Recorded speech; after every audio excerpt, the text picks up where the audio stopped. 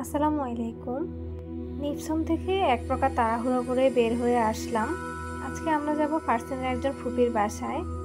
আপুর বাসা যেহেতু উত্তরাতে, তাই আমরা মেট্রো রেলে করে যাব ভেবে রেখেছিলাম।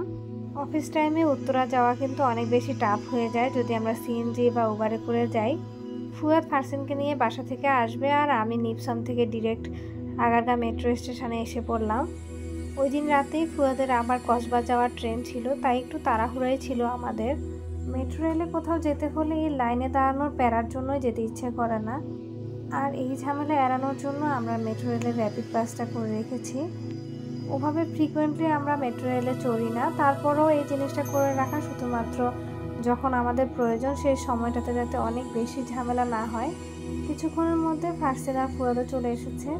আর ফার্সিন যখন মেট্রো রেলে কোথাও যায়, ও কিন্তু অনেক বেশি খুশি হয়। মেট্রো রেলে চলার সময় ফার্সিনের মধ্যে যে একটা আনন্দ দেখা যায়, সেটা অন্য কোনো ট্রান্সপোর্টে পাওয়া যায় না। আপুর বাসা হচ্ছে উত্তরা সেক্টর ফাইভে ফার্সিনের কাজিনের বিয়েতে আমাদের ড্রিম এক্সপ্লোরার থেকে ফটোগ্রাফি করা হয়েছিল। আর ফার্সিনের ওই কাজিন কানাডাতে চলে যাচ্ছে একেবারে সেটেল হওয়ার জন্য ওর হাজব্যান্ডের কাছে। তাই ও যাওয়ার আগে ওর বিয়েতে যেই ছবিগুলো আমাদের প্রিন্ট করে দেওয়ার কথা ছিল সেগুলো প্রিন্ট করে অ্যালবামে সাজিয়ে আমরা নিয়ে যাচ্ছিলাম আপুর বাসায়।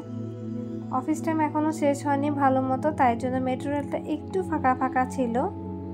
মেট্রো রেল আসার কারণে আমাদের জীবনযাত্রা কিন্তু অনেক বেশি সহজ হয়ে গিয়েছে। অ্যাটলিস্ট উত্তরা যাওয়ার জন্য এই দুর্বিষহ জ্যামটা তো আর পোহাতে হয় না। দুটো অ্যালবামে এত বেশি ভারী ছিল, কোনোভাবে ক্যারি করা যাচ্ছিল না। আর আমরা একটু হুট করেই প্ল্যান করা আপুর বাসায় যাওয়ার জন্য। সেভাবে কোনো প্রস্তুতিও ছিল না। ফুয়াদিন সকালবেলায় আপুকে ফোন করে ফ্রি আছে কিনা জেনে রেখেছে। আমি যখন নিপসামে ছিলাম, ওই মুহূর্তে ফুয়াদ আমাকে ফোন করে জানালো, আমরা উত্তরা যাচ্ছি। তাই আমি ক্লাস শেষে একটু তাড়াহুড়া করেই চলে আসলাম। ফার্সিন আমার সাথে কোনো ছবিই তুলতে চায় না। ওকে যখন আমার সাথে ছবি তুলতে বলেও খুব বিরক্ত হয়, কিন্তু ও ওর পাপার সাথে কিন্তু খুব সুন্দর করে ছবি তোলে। উত্তরা যে লাস্ট মেট্রো রেল স্টেশন ছিল, সেখানে আমরা নেমে পড়লাম। ওখান থেকে আমরা রিক্সা নিয়ে আপুর বাসার দিকে যাব। রিক্সায় ঘুরতে আমার কিন্তু ভীষণ ভালো লাগে। আপনাদের কার কার রিক্সায় ঘুরতে ভালো লাগে তা অবশ্যই কমেন্ট করে জানাবেন। কিন্তু বর্তমানে যে ব্যাটারি রিক্সাগুলো আছে, ওগুলো কিন্তু অনেক বেশি ভয় লাগে আমার। কারণ কয়েক বছর আগে আমি একটা অটো রিক্সায় অ্যাক্সিডেন্ট করে অনেক দিন অসুস্থ ছিলাম। এমনকি আমাকে হাসপাতালেও ভর্তি থাকতে হয়েছিল। সেখান থেকে আসলে ভয় লাগাটা কাজ করে। আসলে অনেক ভিডিও জমা হয়ে থাকার কারণে অনেক আগের ভিডিওগুলো আমি এখন পোস্ট করছি। সেই জন্যই পার্সেনের সোয়েটার পরা, কারণ এগুলো শীতকালের ভিডিও আপুর বাসার এই বারান্দাটা আমার খুবই ভালো লাগে, একদম খোলামেলা গাছপালা আছে। আপু পুরো বাসাটাই সুন্দর, কিন্তু এই বারান্দাটায় আসলে এসে বসলে অনেক বেশি মন ভালো হয়ে যায়। আপুদের বাসায় যখন যায় ফার্সিনও কিন্তু খুব এনজয় করে, কারণ খোলামেলা জায়গা পেলে বাচ্চাদের সবসময় ভালো লাগা কাজ করে। আগের দিন রাতে আমি কিন্তু ছবিগুলো লাগিয়েছি, কিন্তু তারপরও পরের দিন এসে একটু ভালো করে দেখছিলাম, সব ঠিকঠাক মতো লাগাতে পেরেছি কি না বিয়ে তো আসলে প্রত্যেকটা মানুষের জন্য অনেক বেশি স্পেশাল আর বিয়ের ছবিগুলো কিন্তু তার চেয়ে বেশি স্পেশাল কারণ এই স্মৃতিগুলোই সারা জীবনের জন্য থেকে যায়। হয়তোবা অনেক বছর পর এই ছবিগুলো দেখলেই এমনিতেই মন ভালো হয়ে যাবে।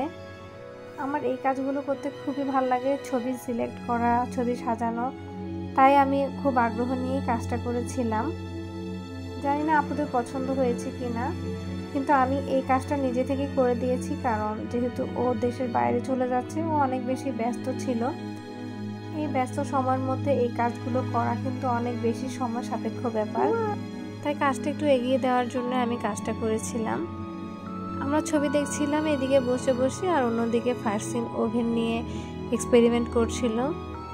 মনোযোগ সহকারে চারপাশটা ঘুরে ঘুরে দেখছিল, মনে হচ্ছে যে ও সব কিছুই বুঝে। ফার্সিন সবসময় বেড়াতে যাওয়ার জন্য খুব এক্সাইটেড থাকে। এরপর নাস্তা শেষ করে তাড়াহুড়ো করেই বাসার উদ্দেশ্যে রওনা হই। ফার্সিনের এই কাজটা আমার কাছে খুব বেশি ভালো লাগে। ও যখন মেট্রো রেলে উঠে, ওখানকার হ্যান্ডেলটা সুন্দর করে ধরে রাখে। ওর হাতটা হ্যান্ডেল পর্যন্ত যায় না, তারপরও অনেক কষ্ট করে ও হ্যান্ডেলটা ধরে রাখে। দেখতে কি মিষ্টি লাগে।